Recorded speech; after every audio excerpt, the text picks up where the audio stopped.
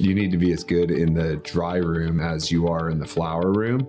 And with the Conviron dry rooms, that's what we've really found to be the reality is that we can continue to steer that crop through the drying process. AMI focuses on creating a high quality product that is safe and enjoyable for both recreational and medical markets. These drying chambers, they allow us to differentiate our product in the market. In a sense, it's not that they're imparting something on the product, but rather letting the genetics live up to their full potential. Learn more at convironcannabis.com.